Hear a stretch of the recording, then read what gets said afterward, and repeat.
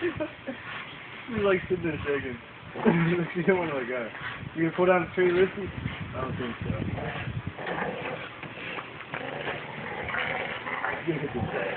Oh!